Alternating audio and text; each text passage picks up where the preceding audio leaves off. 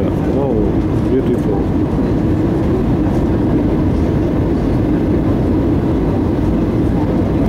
Lebih tertata pak, lebih rapi, hah? lebih rapi. Iya banyak kan pohon lagi ya. Hmm.